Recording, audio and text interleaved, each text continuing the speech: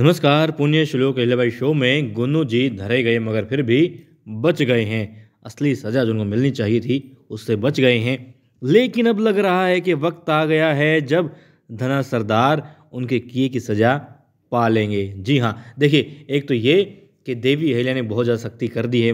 मालवा के अंदर तो कर ही दी है, साथ ही वो कहती हैं कि वाड़े को भी सुरक्षित करना होगा, क्योंकि वाड़ा घर जो है, आपका मन होता है और इंसान को अपनी शारीरिक क्षमता को बढ़ाने के लिए, ताकत बढ़ाने के लिए साथ साथ क्या चाहिए? पहले अपने मन को ताकतवर करना चाहिए। इसलिए मन को सुरक्षित करना है वाड़े को सुरक्षित करना है। देवी अहलिया की इन बातों को सुन करके और धना सरदार की हरकतों को देख करके लग रहा है कि हाँ धना सरदार धरे जाएँगे और बल्कि आने वाले एक दो एपिसोड में ही धना सरदार गिरफ्त में होंगे, ऐसा लग रहा है। और इतना ही नहीं, सैनिक तो वाड़े में पहले भी हुआ करते थे, मगर अब देवी अपने विश्वास पात्र जो सैनिक हैं, जो उन्होंने टीम तैयार की थी तुकू जी के माध्यम से उन सैनिकों को तैयार कर रही हैं, उन सैनिकों को लगा रही हैं।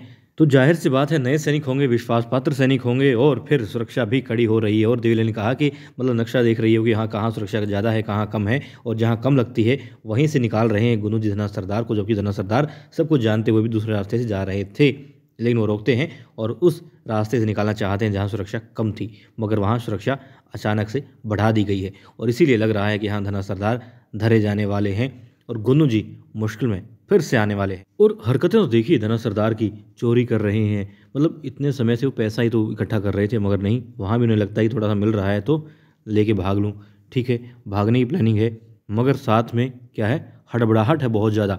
अपने ही बेटे पर छिप कर वार करते हैं, और वो भी चिल्लाते हैं। पहले छिपे हुए थे, फिर चिल्लाते हैं कि ओ छुरी निकाल करके। ज़ाहिर सी बात है मतलब वो अब पकड़े जाने वाले हैं। उनके हालात, उनको लग रहा है कि हाँ भाई धना सरदार अब गड़बड़ होने वाली है तो इसलिए वो बौखलाया हुआ है। और दोनों ही सूरतों में लग रहा है कि धना सरदार को देख करके देवी अहले की सुरक्षा व्यवस्था को देख करके ये धना सरदार अब जल्द ही गिरफ्त में होंगे और सज़ा भी पा जाएँगे, कड़ी जो उनको मिलनी चाहिए थी।